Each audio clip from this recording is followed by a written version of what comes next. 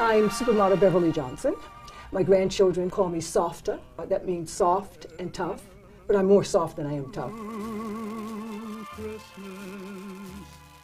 The first time my grandchildren are going to spend Christmas in my home, I wanted to buy my granddaughter this stuffed animal. It, it, it was called a Sheltie and it looks just like the collies I have. I have two huge Lassie dogs, collies, that she's terrified of.